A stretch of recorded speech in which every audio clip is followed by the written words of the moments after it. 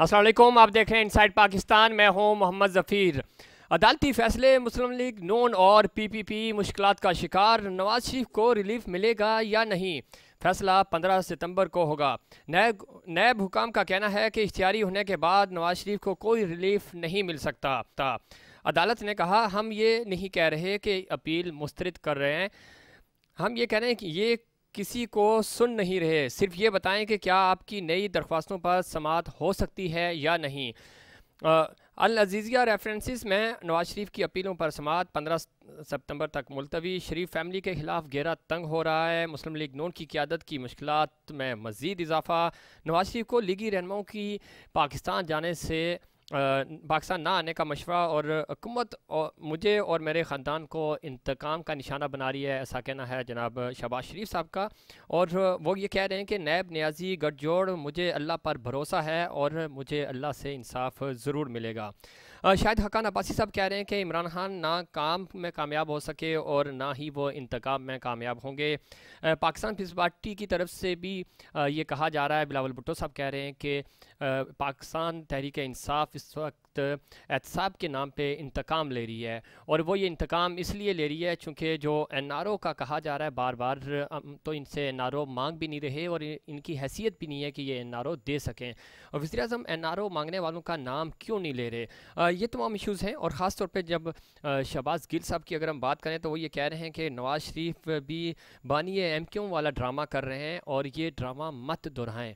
हुकूमती जो वज़ीर हैं उनका जो रवैया है वो भी थोड़ा सा सख्त नज़र आ रहा है और इस पर अपोजिशन भी तनकीद कर रही है कि वज़ीरों की, मशीरों की वजह से मामला जो है वो ज़्यादा ख़राब हो रहे हैं। इन तमाम इशूज़ पर बात करेंगे। हमारे साथ स्टूडियोज़ में मौजूद हैं जनाब मिर्ज़ा इख्तियार बेग साहब। आप सीनियर रहनमा हैं, पाकिस्तान पीपल्स पार्टी के माशी, सफारती और सियासी अमूर पर गहरी नज़र रखते हैं, खुश आमदीद कहते हैं आपको। उनके साथ तशरीफ़ रखते हैं जनाब मोहम्मद यासिन आज़ाद साहब। आप ममताज़ कानूनदान हैं सीनियर रहनमा हैं मुस्लिम लीग नून के आपको भी खुश आमदीद कहते हैं। उनके साथ तशरीफ़ रखते हैं जनाब सैद फ़रखान अली सीनियर तजियाकार हैं और कराची और सियासी अमूर पे आपकी भी बड़ी गहरी नज़र है आपको भी वेलकम कहते हैं। बेग साहब क्या कहेंगे ख़ास तौर पे अगर दोनों बड़ी सियासी जमातों को देखें तो इस वक्त वो अपोजिशन में हैं और ए पी सी के वाले से भी बातें हो रही थी और यहाँ कल के इस फैसले ने बिल्कुल मामला चेंज कर दिए हैं दोनों जमातें जो कह रही हैं कि इंतकाम के नाम एहतसाब के नाम पे इंतकाम हो रहा है। देखिए, ये मैं इसलिए नहीं कि मेरा पीपल्स पार्टी से ताल्लुक़ है, बट एज ए न्यूट्रल भी अगर हम देखें तो ये नज़र आता है कि प्रेशर बिल्डिंग हमत अमली जो है इस्तेमाल की जा रही है। वो प्रेशर बिल्डिंग बहुत सारी चीज़ों की वजह से हो सकती है एफ़ टी एफ़ के भी अभी बिल जो हैं वो कौमी असम्बली से पास हुए हैं सैनेट से पास हुए हुए और उनको वो कराना है। और उसके लिए मैं समझता हूँ टॉप प्रायरिटी है उनकी कि वो किसी भी तरह से ये तो हो जाए। फिर और एन एफ़ सी और दूसरी चीज़ों में अमेंडमेंट तो बहुत सारी चीज़ें ऐसी हैं जो जिनमें इनकी इनकी मदद दरकार है जिन्हें इनकी सपोर्ट चाहिए जब जाके वो हो सकेंगी वैसे नहीं। और अभी तक देखें वो रुकी हुई हैं। क्योंकि ताबन नहीं दिखाया जा सका। तो ये बात तो बड़ी वाजह है कि प्रेशर बिल्डिंग टैक्टिक्स नज़र आती हैं और दबाव बढ़ा के मकसद सिर्फ़ यही है कि वो कुछ चीज़ें हासिल की जा सकें। एन आर वगैरह का ये स्लोगन ज़रूर है लेकिन इसमें कोई हकीकत इसलिए नहीं है कि ना ये इस पोजीशन में है कि एन आर ओ जैसे बोल्ड कोई स्टेप पे वो कुछ कर सकें और उनकी भी सियासी मौत होगी अगर आपको यासीन रजा साहब आप चूँकि कानून को बहुत अच्छी तरह जानते हैं और ख़ास तौर पे इससे पहले भी अगर हमने देखें तो पैनामा केस जो हुआ था उसमें भी फिर नवाज़ शरीफ साहब को अदालत से अदालत से वो वहाँ पे भी सरखरू हो गए थे। कुछ चार्जेस हैं अभी उनके उनके ऊपर। इस केस में आप मुस्लिम लीग नोन के रहनमा के तौर पे तो खैर हम आपका मौक़ लेंगे ही लेंगे लेकिन कानूनी मौक़ अगर देखा जाए कानूनी पॉइंट ऑफ़ व्यू देखा जाए तो आपको लगता है कि इसमें इतनी जान है कि आप फौरी तौर पर इख्तियारी करार दें और इतना बड़ा हैवी वेट जो सबक वजी अजम रहे हों तो थोड़ा सा अदालत को मार्जिन देना चाहिए था। देखें एब्सकॉन्डर जो डिक्लेयर किया गया है वो जो नया नेब नेब ने केस बनाया तोशा खाना वाला उसमें किया जी जी तोशा खाना अगर किसी और केस में किसी को आप एब्सकॉन्डर डिक्लेयर करते हैं जी। तो जो अपीलें इस्लामाबाद हाई कोर्ट में पेंडिंग हैं उन पर कोई असर नहीं पड़ेगा नंबर वन सही। नंबर टू मेरे नज़दीक इस्लामाबाद हाई कोर्ट ने जो डायरेक्शन दी थी कि सरेंडर करें तो सरेंडर करने का जो हुक्म था इस्लामाबाद हाई कोर्ट का वो मेरे नज़दीक बिल्कुल गलत था और मुनासिब आर्डर नहीं था क्योंकि आपके पास अपीलें हैं और क्रिमिनल प्रोसीजर कोड की सेक्शन 423 को अगर आप देख लें डिटेल से तो उसमें अपीलों का फैसला करने का एक वाजह तरीका कर दिया गया है। अपील का मकसद ये होता है कि मैंने अगर किसी की अपील फ़ाइल की जी।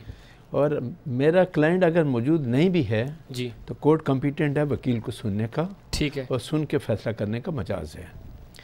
अब वो क्या होता है कि जब आप हेयरिंग करते हैं तो अगर आप इस नतीजे पे पहुँचें कि जो ट्रायल कोर्ट ने उनको सज़ा दी है वो सही है जी। तो आप अपील डिसमिस कर देंगे। अगर आप ये समझते हैं कि केस नहीं बनता ठीक। तो आप इक्विटल की तरफ़ जाएँगे। और अगर जो जज अरशद मलिक का तमाम वीडियो वगैरह जो है जी जी। उसको अगर बीच में लेके आएँ तो जिस तरह मलिक कईम के दौर में जरदारी साहब का केस बिलाकर रिमांड हुआ था और रिमांड होने के बाद उसको जो है ना उनका इक्वेटल हुआ था। ठीक। तो आपको ये अपीलें फैसला करते वक्त मिर्ज़ा अरशद जो जज था जी जी। अरशद उसका भी कंडक्ट जो है ना या मामला मामला लेना पड़ेगा सामने। ठीक है। अब जो सूरत हाल है कि आज की जो हेयरिंग है उसमें मेरे ख्याल में फिर उन्होंने कोई डेट फिक्स की है। पता इस्लामाबाद जी। इस्लामाबाद हाई कोर्ट ने आज कोई ऐसा आर्डर नहीं किया जिसमें कहा हो कि हम नवाज़ शरीफ का एब्सकॉन्डर डिक्लेयर कर रहे हैं। सही। बल्कि वो बार बार ख्वाजा हरत से ये सवाल कर रहे थे कि जो आज नेब कोर्ट ने आपको एब्सकॉन्डर डिक्लेयर किया उसके बाद इसकी कानूनी पोजीशन क्या है? ख्वाजा हारिस ने वाज अल्फाजों में ये बात कही थी कि आपके सामने अपील है अपीलों में इस केस का उस केस का यहाँ कोई असर नहीं पड़ेगा। अब सिंपल क्वेश्चन ये है कि जब कानून के अंदर एक वाजह तरीका कर दिया गया वो अपनी जगह पे मौजूद है। मैं कई दफ़ा ये बात कह चुका हूँ चूँकि एक पॉलिटिकल एफिलेशन होने के बावजूद मैं ये कहता हूँ कि नेब आर्डीनेंस जो है वो एक ताकतवर डिक्टेटर का बनाया हुआ कानून है। मेरा शुरू से मौक़ यह है ठीक। पार्टी एफिलेशन से हट के कि ये डिक्टेटर का कानून बनाया हुआ है इसको कम्प्लीटली ख़त्म होना चाहिए ना बना। ठीक है। हमारे आइन के अंदर अगर किसी एक्यूज़ को पकड़ा जाता है जी। तो आइन हमारा ये कहता है कि within the period of twenty four hours ठीक है। आपने एरिया मजिस्ट्रेट के पास उस बंदे को ले जाना है ठीक है। और रिमांड लेना है। ठीक है। यहाँ आप और इवन मर्डर केस भी है तो उसमें डायरेक्शन यह है कि चौदह दिन के अंदर अंदर चालान कंप्लीट करके आपने कोर्ट में दाखिल करना ठीक हो। गया। ये नेप का कौन सा कानून है जिसमें बारह बारह चौदह चौदह महीने तक रेफरेंस फ़ाइल नहीं होता? तो आप रेफरेंस फ़ाइल करने के लिए जब एविडेंस मेरा अपना पॉइंट ऑफ़ व्यू है कि किसी भी वाइट कलर क्राइम में आप किसी को गिरफ़्तार करने से पहले जी जी। आप उस वक्त तक किसी बंदे को आपको गिरफ़्तार नहीं करना चाहिए जब तक आपके पास एविडेंस एविडेंस ना हो। ठीक है। और अगर एविडेंस के बगैर गिरफ़्तार करके बाद में इन्वेस्टिगेशन करते हैं तो अभी जो हनरेबल सुप्रीम कोर्ट ने जजमेंट दिया जस्टिस बाकर ने जी उस अगर जहाँ में पढ़ें तो उन्होंने यहाँ तक भी कहा कि नैब जिस अंदाज में लोगों को गिरफ़्तार करती है ये बुनियादी हकूक़ पे एटम एक अटैक है जी। और इससे इंसानियत की जो तोहन होती है वो उसकी मिसाल पे मिसाल बिल्कुल सही कह रहे हैं। और इस पर जो बड़ा क्लियर उनका मौक़ था मोतमा आसमा जहांगीर साहिबा का मरहुमा का। तो वो भी यही कहती थी कि जब एक बंदा अगर अदालती फ़ैसला आपने पहले उनको सज़ा दे दी और उसके बाद पता चला कि वो बंदा उस पर जो इल्ज़ाम थे वो आप साबित नहीं कर सके तो फिर इंसानी हकूक़ की खिलाफ वर्जी है उसको उसका जो डैमेज है या तरीक़ाकार है उसका सिंपल इसमें एक मैं बात कहता हूँ कि सपोज़ एक आदमी एक आदमी को अपील में आपने सज़ा दे दी। जी। वो चार साल जेल में रहा। ठीक है। चार साल के बाद उसकी अपील चली और उसका बरी कर दिया गया। तो, तो वो चार साल का पीरियड की ज़िम्मेदारी किस ज़िम्मेदारी कौन लेगा तो ये थोड़ा हाँ। ये वो चीज़ें हैं जो हमारी बुनियादी चीज़ों में शामिल होनी चाहिए थी इन्वेस्टिगेशन पहले हो ताकि आप हंड्रेड परसेंट श्योर हों उसके बाद आप किसी मुलजम को मुजरम डिक्लेयर करें। सैद फरहान अली साहब आप क्या समझते हैं? ख़ास तौर पे अगर इस वक्त दोनों अपोजिशन की बड़ी जमातों को हम देखें तो वो अदालती फ़ैसले उनके ख़िलाफ़ आ रहे हैं। और नैब के हवाले से जिस तरह यासिन आज़ाद साहब भी बात कर रहे थे, नैब को इस, उस वक्त नैब का जो इदारा बनाया था पीपी और पीटीआई और ख़ास तौर पे जो, इस वक्त सॉरी, मुस्लिम लीग नून और पीपीपी उस वक्त बड़े सपोर्टिव थे इसके और ख़ास तौर पे जो चेयरमैन आए, इनकी मशावरत से आए थे और इनका प्रपोज़ल भी था। अब जो फैसले आ रहे हैं तो वो कह रहे हैं कि इंतकामी फ़ैसले हैं ये सारे। क्या कहेंगे आप? बिसमिल्ल अच्छा आज़ाद साहब की बात से मैं थोड़ा सा इख्तलाफ इसलिए करूँगा क्योंकि आज़ाद साहब ने बोला, डिक्टेटर का बनाया हुआ मैं यहाँ पे परवेज़ मुशर्रफ साहब को रिप्रेजेंट कर रहा हूँ। तो इनका इशारा मुशर्रफ साहब की तरफ़ ही था। तो मैं उसको ज़रा सा ज़ाहिर कर दूँ कि देखें मुशर्रफ साहब जब आए थे स्टार्ट में वेरी बिगनिंग डे पर तो उस दिन इन्होंने एमरजेंसी लगाई थी। एमरजेंसी लगा के तीसरे दिन सुप्रीम कोर्ट, जो आइनी सुप्रीम कोर्ट थी, उधर रेफरेंस लिया था और उधर रेफरेंस ले जाकर आपके जो इफ्तार चौधरी साहब हैं, उन्होंने उनको तीन साल की परमिशन दी थी। ये आइन से हट के नहीं, आइन का फैसला था ये। ये जो फैसला था, ये आइनी फैसला था। उसके बाद मामला ये हुए कि उन्होंने पीसीओ पे हल्फ लिया। लेकिन नैब की जो अदालत है, वो तीन साल के बाद कायम हुई। जो असम्बली में बिल गया था सत्रहवीं तरमीम, और वो सत्रहवीं तरमीम को उन्होंने पूरी टू थर्ड मेजोरिटी से एक्सेप्ट किया था। और फिर बाद में दोनों पार्टियाँ पीपल्स पार्टी और नून लीग ने मशावरत के साथ ये कहा था कि जी, हम दोनों इसको इस इस एजेंसी को हम चलाना चाहते हैं। असम्बली के अंदर ही ये असम्बली के फ्लोर पे ये डिस्कस हुई ये बात। तो ये तो कहना गलत है कि ये नैब जो है अपना काम देखें बहुत सारी एजेंसियाँ यहाँ पे अदालतें क्या काम कर रही हैं? आपको आपने अभी दो दिन पहले एक ऑर्डर पढ़ा ही होगा जो बलूचिस्तान के अंदर हुआ है मर्डर वो बिल्कुल एक नहीं, इस पे पॉइंट ऑफ़ व्यू देना इस पे वो करें कि ये आपको लगता है कि ऐसा है या नहीं है? कैसा है? मुस्लिम लीग नोन और पी पी के साथ ज़्यादा हो रही है इनके बिल्कुल भी नहीं हो रही डिजर्व करते हैं। मतलब ये आप मुझे एक बात बताइए। ये देखिए मैं इनकी परफॉर्मेंस के ऊपर कोई सवाल नहीं उठाना चाहता। नहीं परफॉर्मेंस की तो बात परफॉर्मेंस जो भी इन्होंने दो क्या ये केस जायज़ है यानी फैसले मेरिट पे हो रहे हैं या नहीं हो रहे? एक दूसरे पे बनाए ना ना पीटीआई ने बनाए ना मुशर्रफ साहब ने बनाए थे। ये तो, तो जितने भी केसेस पीपल्स पार्टी ने बनाए या नून यासिन साहब इत्तेफाक करते हैं इनकी आप? पहली बात यह है कि जो इन्होंने कहा कि ये रेफरेंस फ़ाइल हुआ सुप्रीम कोर्ट में वो गलत है। ज़फ़र अली शाह ने पिटीशन फ़ाइल की थी। नहीं मैं मुशर्रफ साहब की इमरजेंसी को बोल रहा हूँ वो रेफरेंस लेके नहीं नहीं वो अलग है वो अलग है वो अलग है सवाल सवाल ये पैदा होता है कि क्या आइन के अंदर जब किसी जनरल परवेज मुशर्रफ को गद्दारी में सजाए मौत हुई है ना उसी केस नहीं नहीं वो तो वो कौन सा केस है वो तो आपको पता है अदालत ने क्या फैसला सुनाया है। देखें आप बोले तो मैंने नहीं हाँ। बोला मुझे अगर यासिन साहब तो उनको सजाए मौत हुई। खुद उन्होंने यह बात एडमिट किया कि सऊदी अरब ने मुझे इतने रुपया दिया, मैंने बाहर के बैंकों में जमा कराया। वो जनरल परवेज मुशर्रफ से किसी में ताकत नहीं है, दम नहीं है कि वो पूछें कि ये पैसा कहाँ से आया, कहाँ गया। सवाल ये पैदा होता है यहाँ कि ये नैब का कानून, वो वायद कानून है जो 99 में बना। लेकिन उसका नफाज हुआ 1985 से ज़रा पढ़ लें उसके अंदर। जी जी नाइनटीन एटी फाइव से उसका नफाज हुआ। ठीक है। 1985 से नफाज करने का उस वक्त भी मकसद ये था कि उस वक्त चूँकि नवाज़ शरीफ साहब पहली दफ़ा कहीं वज़ीर बने थे एक तो वो मामला सारे के सारे जो है ना उसको टेकअप करने के लिए आपने उसका नफाज नाइनटीन से किया। सिंपल क्वेश्चन जो है वो ये है कि हम ये देखते हैं कि आप और हम आज ये बात तय कर लें कि इस मुल्क का आयन सुप्रीम है नंबर वन या कोई और कानून सुप्रीम ठीक है। अगर आयन सुप्रीम है तो उसके अंदर जो कुछ लिखा हुआ है उसके पहले उसके मुताबिक आपने चलना है ठीक है। कानून बाद में आता है। ठीक है। बहुत बहुत अच्छी बात कर रहे हैं यासीन आज़ाद साहब के चूँकि सुप्रीमेसी जो है वो कानून क्यों नहीं चाहिए इंसाफ क्यों नहीं चाहिए और बाकी इदारे जो हैं वो उसके नीचे आने चाहिए और इस पर अमल दरामद भी होना चाहिए जो कि हमें बदकस्मती से पाकिस्तान में होता हुआ नज़र नहीं आता। नाजिन इस पर मज़ीद बात करेंगे लेकिन उससे पहले एक कमर्शल ब्रेक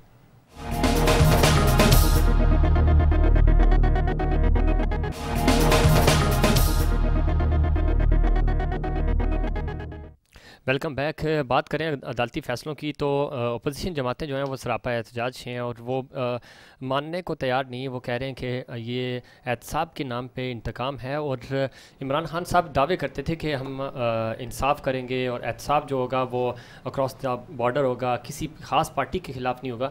लेकिन अपोजिशन जमातें इस वक्त ये कह रही हैं कि ये चूँकि हमसे इंतकाम लिया जा रहा है और ख़ासतौर पर अगर हम जरदारी साहब के वाले से बात से बात करें तो उन्होंने कहा कि मैं प्रीवियस भी अदालत अदालतों में मैंने जेल काटी ग्यारह साल और सरखरू हुआ और इस केस में भी सरखरू होगा और मैं अदालत का जेलों का सामना करूँगा जेलों में जाऊँगा। बेग साहब क्या समझते हैं पाकिस्तान पीस पार्टी पे एक बार फिर यूसफ रजा गिलानी साहब हैं और उनके साथ जरदारी साहब हैं। इस केस पे आप क्या समझते हैं आपको आपको भी लगता है कि वाकई एहतसाब नहीं हो रहा है इंतकाम नहीं हो रहा है? मैं ये तोशक खाना के बारे में ज़रा सा बैकग्राउंड आपको दे दूँ कि ये वो तहफ़ जो दौरान हुकूमत आपको मुख्तलिफ़ सरबराहान हुकूमत की तरफ़ से मिलते हैं प्रेसिडेंट प्राइम मिनिस्टर्स वो उस माल खाने में जमा होते रहते हैं। और अगर उसमें से आपको कोई चीज़ पसंद आती है आप चाहते हैं कि हम लें तो उसकी वैल्यूएशन का एक तरीका है पूरा एक फार्मूला है। उस वैल्यूएशन के मुताबिक आपको सर्टन परसेंटेज उसकी देनी पड़ती है, है। पैसे जमा कराने पड़ते हैं और फिर जाके वो चीज़ जो है वो आप तोशा खाने से ले सकते हैं। ठीक है। और ये चीज़ अरसे से चलती चली आ रही है। एक सेट इसका फार्मूला फार्मूला है अच्छा। प्रोसीजर ठीक है। अब अगर नीचे से समरी बनाई वैल्यूएशन कम या ज़्यादा है ठीक है। जफीर कहते हैं कि जी ये कम की है तो जिसने वैल्यूएशन की है वो जिम्मेदार है।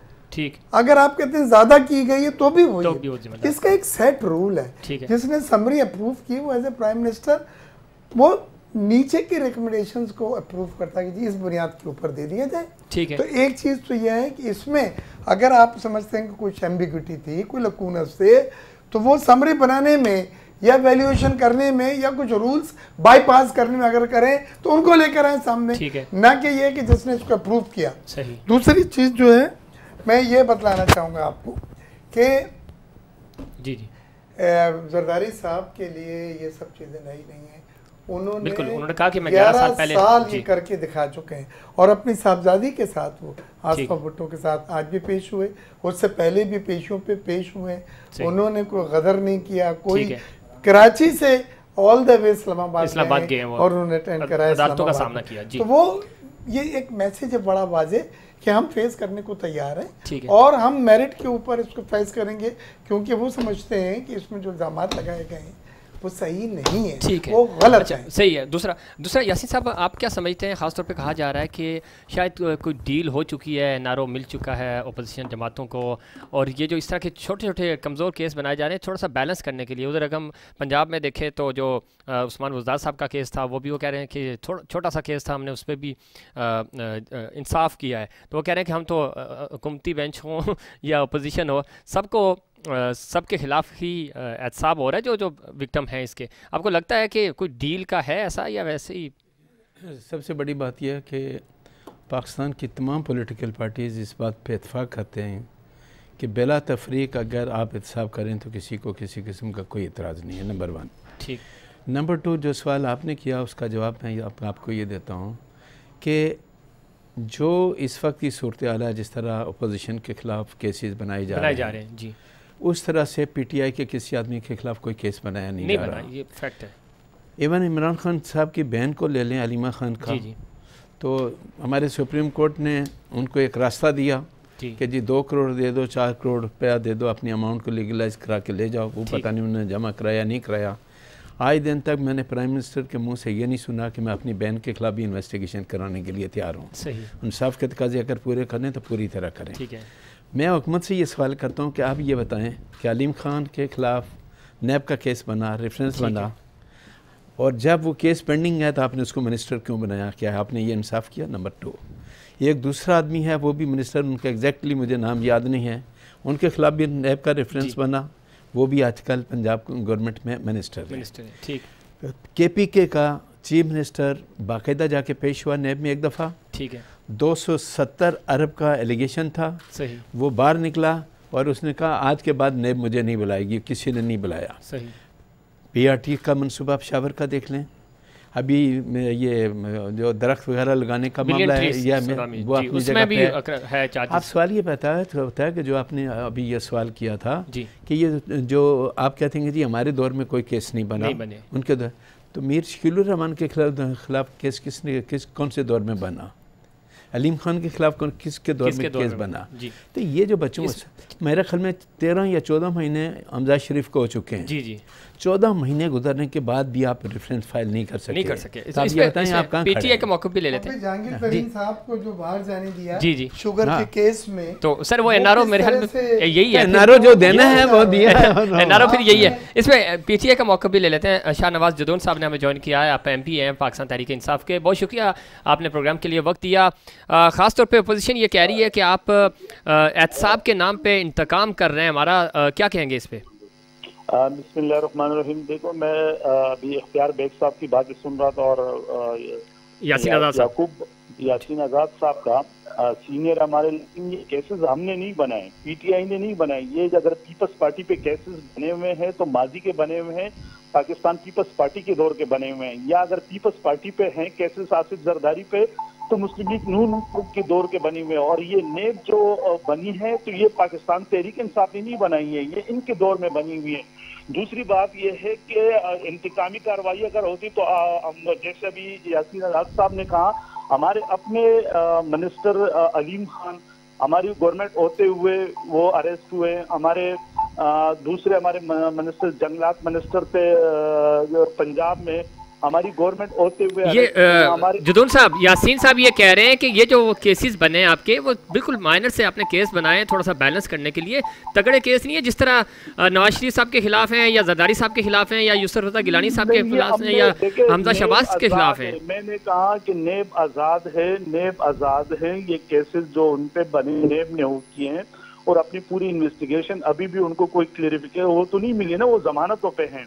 जी। बात यह है कि अगर ये मुस्लिम लीग नून पे तो ये हमने बनाई, ये जो कह रहे हैं कि इंतकामी कार्रवाइयाँ हो रही हैं, ये तो मुस्लिम लीग नून के खिलाफ पाकिस्तान पीपल्स पार्टी ने केसेस बनाए थे, पाकिस्तान पीपल्स पार्टी के खिलाफ मुस्लिम लीग नून ने बनाए थे, आज ये एक हो गए हैं, आज ये भाई भाई हैं, कहाँ गए वो मियाँ शहबाज शरीफ के वो वादे कि भाई आसिफ जरदारी को जो ना लाहौर के रोडों पे घसीटूँगा आसिफ जरदारी को लड़खाना के रोडों पे घसीटूँगा आज कहाँ गए? आज दुनिया के सामने साबित हो चुका है कि ये बाई बाई हैं, ये खाली अपनी करप्शन छुपाने के लिए ये एक हो गए, क्योंकि इनको डर है। इमरान खान के वो अल्फाज सच साबित हुए कि जब इनके गहरा इर्द, इनके इर्द गिर्द गहरा तंग होगा तो ये एक होंगे और आज इमरान खान जदुन साहब लाइन पे रहिएगा पूछ लेते हैं कि ऐसा है या नहीं कि जब इस तरह के मुश्किल वक्त आता है मुस्लिम लीग नून और पीपीपी जो है वो एक हो जाती हैं। सैद फरहान साहब सब, सबसे पहले आपसे पूछूँगा कि क्या आप समझते हैं कि वाकई अपोजिशन जो है वो जो इनका टेक है कि नून लीग और पीपीपी जो है वो एक हो जाती हैं जब उनके मुश्किल वक्त आता है वैसे ये आपस में ब्लेम करती रहती हैं पोलिटिकली जी, जदून साहब ने जो बोला इस मामले में, मैंने पहले यही बात बोली कि ये दो सारे केसेस जो बने हुए ये पीपल्स पार्टी और नून लीग ने एक दूसरे पर बनाए हैं। तो नैब तो एक इंडिपेंडेंट इदारा है, वो उसकी इन्वेस्टिगेशन कर रहा है और वो सुप्रीम कोर्ट में या कोर्ट, जिन कोर्ट्स में भी जा रहे हैं, वो चल रहे हैं। ये नवाज़ शरीफ साहब तो सज़ा याफ्ता हो चुके थे पहले एक केस में, यही अदालतें थी जिन्होंने इनको जो है बाहर भेजवाया। तो अदालतों ने भिजवाया ना इनको। अदालत से भरी हो गए थे ना? ऐसे थोड़ी गए भाग के थोड़ी गए भरी हुए हैं उनके इजाज़त से। आप अपना इलाज कराने गए अभी। हाँ तो अदालत में तो अदालत याफ्ता है। जब आएँगे तो गिरफ़्तार हो जाएँगे। यहाँ पे तो वो आएँगे भी नहीं। और शेख रशीद ने अभी इनके जो मिनिस्टर हैं शेख रशीद ने ओपन बोले थे कि जी एग्रीमेंट करके गए हैं वो। वो वापस नहीं तो वो तो साबित अच्छा, करना पड़ता है ना अभी तो वो उनकी तबीयत ही ठीक नहीं है डॉक्टर ये कह रहे हैं मेडिकल रिपोर्ट जमा करा दी साहब को सजा दी। इजाज़त जी। देखिए आज़ाद साहब ने बोला कि मुशर्रफ साहब को सजा मिली आइन तोड़ने की। तो जो जजेस ने सजा सुनाई ना उन्होंने सुना मुशर्रफ साहब को और उन्होंने जो स्टूपिड फैसला सुनाया वो आपकी अदलिया सुप्रीम कोर्ट खुद बोलती है कि ये स्टूपिड फैसला है ये हमने तो बोला ही नहीं वो तो अदलिया ने बोला अच्छा। और वो खुद ही उसके ऊपर उन्होंने चले खैर इस पे भी कर लेते हैं। बेग साहब आपने फैसला किस तरह साहब आप क्या समझते हैं खासतौर पे जनरल को लाके जो है जनरल को लटका दिया। शबाज शरीफ साहब कराची आए बड़ा वेलकम किया आपने और वो जो अभी जदून साहब भी कह रहे थे बड़े नारे लगते थे मीनार पाकिस्तान के सामने खड़े होके। तो वो नारे हम थोड़ा उस तरफ़ जाना नहीं चाह रहे लेकिन आज मुस्लिम लीग नून और पीपीपी दोबारा एक हो गए और वो देखिए मैं इसको ज़रा सा वाजह करता हूँ बिल्कुल न्यूट्रल अंदाज में। मैं वाजा करने की कोशिश करूँ कि दो सियासी जमातें बड़ी मुल्की हैं। दो नेशनल बड़ी सियासी जमातें हैं है। पाकिस्तान में और वो उनकी हुकूमतें आती रही हैं और जाती रही हैं अलग अलग मैनिफेस्टो अलग अलग मोटिव उनके अलग अलग स्टैंड हैं तो वो एक तो होने का सवाल ही नहीं पैदा होता लेकिन कुछ इश्यूज़ ऐसे होते हैं जिनके ऊपर हम ख्याल हो जाते हैं मिसाल के तौर पर जमहूरियत की या कोई ऐसी चीज़ जहाँ पे आप समझ रहे हैं मुल्क के साथ ज़्यादती की जा रही है या कोई ऐसा कानून लाया जा रहा है जिसको आप समझते हैं कि मुल्क के मफाद में नहीं है। फंडामेंटल राइट के ख़िलाफ़ है वगैरह। उसमें आप हाथ मिलाते हैं एक दूसरे को सपोर्ट देते हैं ये जमहूरियत की रीत है। ठीक है। जमहूरियत में ये नहीं होता कि आपको कसम खा के बैठते हैं कि एक दूसरे की शक्ल नहीं देखनी है बुरा ही बोलना बुरा ही बोलना जमहूरियत में ये भी होता है कि अगर कॉमन स्टांड लेने पड़े कुछ इशूज के ऊपर जिनको आप दोनों समझते हैं कि मुल्क के मफाद में ठीक तो उसमें ये जा ये सर बड़ा ज़बरदस्त जुमला है यासिन आज़ाद साहब के मुल्क के वसी तर मफाद में।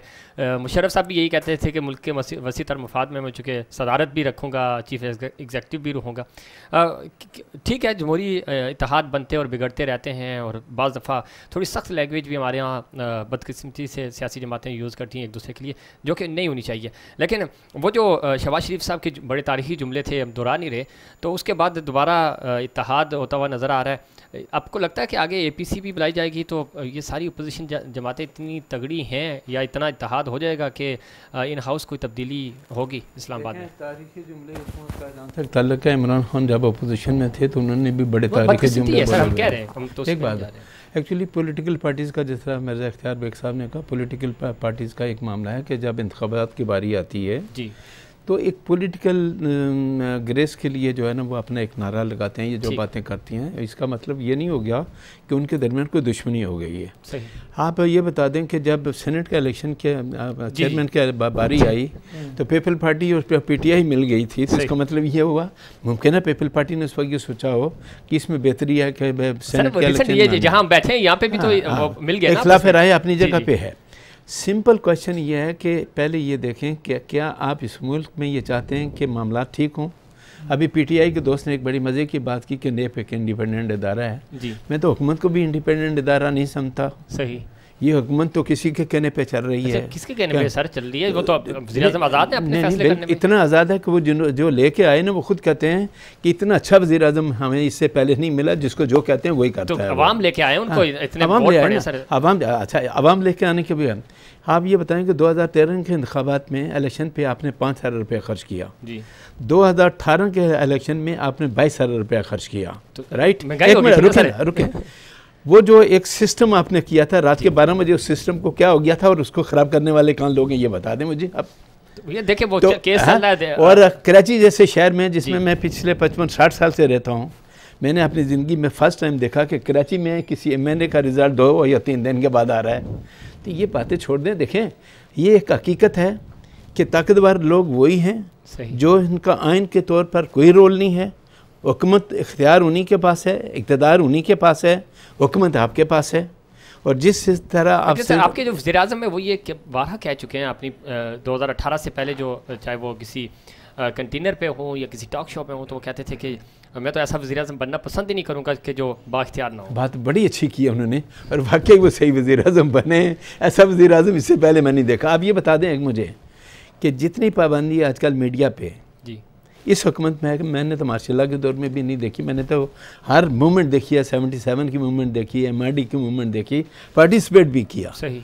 तो आज जो सिलसिला है आप मुझे मीर शकील रहमान का जुर्म बता दें क्या जुर्म है उस बेचारे का? कि पिछले आठ महीने सात या आठ महीने से वो जेल में पड़ा ठीक हुआ कह है। रहे हैं आप और तो आप मीडिया को तो कम अज कम आज़ाद कर दें। मीडिया को आज़ादी मिलनी चाहिए, प्राइम मिनिस्टर के मतलब मैं सिर्फ़ सिंपल एक बात कहता हूँ कि ये कहना बड़ा आसान है कि हम बाख्तियार हैं।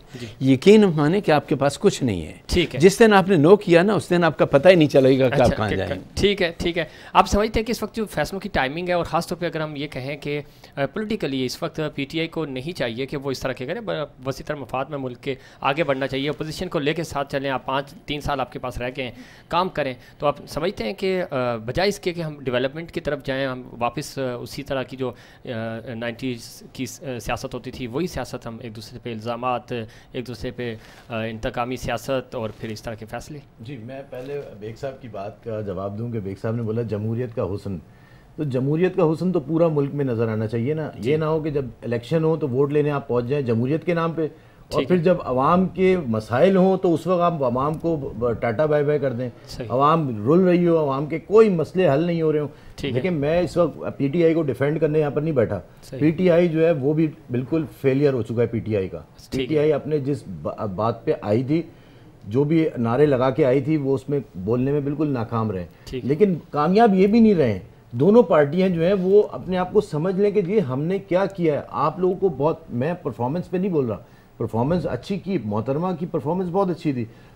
शहबाज शरीफ साहब की परफॉर्मेंस पंजाब में बहुत अच्छी है, लेकिन प्रॉब्लम है करप्शन कि अगर ये करप्शन का आंसर बीच में से निकाल दिया जाए तो फिर आप जो है मुल्क को तरक्की की तरफ़ करप्शन खत्म होगी तो मुल्क आगे तरक्की करेगा। जदून साहब क्या कहेंगे खासतौर खास तौर पे जो मुस्लिम लीग नून और पाकिस्तान पीस पार्टी का जो मौकफ है यासिन साहब ने भी और बेग साहब ने भी कहा कि जमहूरियत के लिए और फिर चूँकि मुल्क के वसी तर मफाद के लिए इतिहाद बनते और बिगड़ते रहते हैं तो आप सिंध में इस वक्त पाकिस्तान पीस पार्टी को साथ मिला के चल रहे हैं कराची की अगर हम बात करें जो कमेटी बनी तो इस हिसाब से तो आप भी इतिहादी हुए और सेनेट में भी आपने पीपीपी से वोट लिए थे।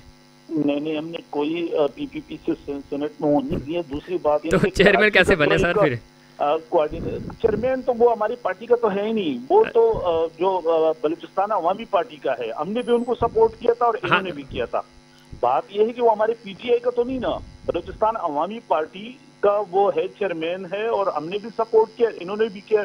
दूसरी बात आपने की कि कराची की एक कोऑर्डिनेशन कमेटी बनी है देखो कराची के साथ 12 साल पाकिस्तान पीपल्स पार्टी को इस शहर में हुकूमत कर रहे हुए सूबे पर और क्या हालत हुई है? बारिशों के अंदर लोग आ, लोगों की करोड़ रुपए के अमलाक तबाह हो गए हैं। तो उसके लिए कराची की बेहतरी के लिए सिंध की बेहतरी के लिए हमने कहा कि आप कुछ करें हम आपके साथ हैं। तो इसमें आपकी इतिहादी जमात यहाँ मेयर थी चार साल से तो उनका काम था ये शहरी हुकूमत का काम था काम करना तो वो तो नाकाम रहे आपके इतिहादी आपके चौदह और एम एन ए और छब्बीस एम पी एज हैं यहाँ से। देखिए मेरे मैं आपको बता दूँ वज़ीर आज़म यहाँ से हैं सदर यहाँ से हैं वफाकी वज़ीर यहाँ से हैं तो मैं मैं आपको बता हूँ आपने मेयर की बात की मैं उनको नहीं वो एनक्यूएम वाले उनका जवाब देंगे लेकिन जो इन्होंने यहाँ लोकल बॉडी का जो सिस्टम बनाया कोई इख्तियार नहीं दिए। आप मुझे बताएँ कि ढाई करोड़ की आबादी का मेहर उसके पास इख्तियार हो ठीक है इख्तियार नहीं अब लाइन पे रहिएगा लाइन पे रहिएगा जदूर साहब बेग साहब क्या कहेंगे आ रहे हैं आपकी तरफ़ बेग साहब। अब वक्त यही कहना है कि चले पीपीपी ने अच्छा नहीं परफॉर्म किया। या एमक्यूएम क्यू एम ने जो है वो अपना अच्छा उस वोट का जो मैंडेट दिया गया था उसका हक अदा नहीं किया। लेकिन इस बार तो वो जमात जो हुकूमत में है जहाँ पे चौदह एम एन एज और छब्बीस एम पी एस आपको सदर भी वजी भी यहाँ से के नाम जी। और जो आपने नारे लगाए थे तो वो चीज़ें नज़र आनी चाहिए थी। बारिश में कम से कम नज़र आनी थी जहाँ मायूसी सब सियासी जमातों की तरफ़ से हुई है। सबसे आखिर में वजी सब कराची आए हैं सर वो वो भी चंद घंटे के लिए आए और चले गए। देखिए मैं ये एक्सपेक्ट कर रहा था कि कम से कम दो दिन के लिए आएँगे कैंप ऑफ़िस यहाँ पे लगाएँगे इलाकों का दौरा करेंगे जहाँ जहाँ पे पानी और वहाँ पे लोग जो है इलेक्ट्रोलाइट मतलब ठीक है। बिजली से हम बात हुई है। और हमें ये एहसास होगा कि हमारा वज़ीर आज़म मुश्किल के वक्त हमारे हमारे साथ खड़ा था। पाँच घंटे के लिए आके गवर्नर हाउस से ठीक है प्रोग्राम प्रोग्राम का वक्त खत्म हो गया सर। यासिन दादा साहब आखिरी पॉइंट क्या कहेंगे आप देखिए आखिर पे मैं एक बात कहूँगा कि ये जो बार बार करप्शन की रट लगाए में जी जी। करप्शन तो आज दिन तक आपने साबित नहीं किया। ठीक है। आप कहते हैं करप्शन इस मुल्क को तबाह कर दिया। मैं कहता हूँ कि पीटीआई की गवर्नमेंट ने इस मुल्क को डुबो दिया। ठीक है। तो तबाही की बजाय डुबो दिया डुबो दिया। आप आखिरी पॉइंट दस सेकंड जल्दी। भाई ने ये बात बोली कि भाई हमने जो है ये अठारहवीं तरमीम की वजह से हम बाउंड हैं। ठीक है। चले इस मामले में तो आप बाउंड थे लेकिन आप जब ये आपका एक अभी कानून पास हुआ है जी। उसका बिल्कुल अठारहवीं तरमीम के बाद। अठारहवीं तरमीम कोटा सिस्टम के ऊपर। ठीक। कोटा सिस्टम पे तो अठारहवीं तरमीम आपको बाउंड नहीं कर रही थी। ठीक है कोटा सिस्टम के लिए बहुत शुक्रिया आपका भी यासिन साहब आपका बहुत शुक्रिया साहब आपका शुक्रिया। जुर्म साहब आपका भी बहुत शुक्रिया। आदमी ये था हमारा आज का प्रोग्राम उम्मीद करते हैं दिग्गज प्रोग्राम की तरह आपको हमारा आज का प्रोग्राम भी पसंद आया होगा मुझे और इनसाइड पाकिस्तान की पूरी टीम को दीजिए इजाज़त। अल्लाह निगेबान।